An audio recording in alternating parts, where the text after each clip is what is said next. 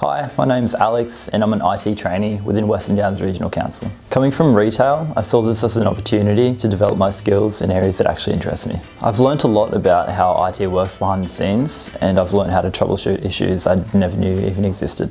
I would say to give it your best shot, present yourself well, show that you're willing to apply yourself and you're likely to land a position. And once you're in, the opportunities are endless. Council really encourages you to learn as much as possible and further education certainly isn't out of the question. I recommend this program for anyone and everyone. It's given me direction and I believe it'll do the same for you.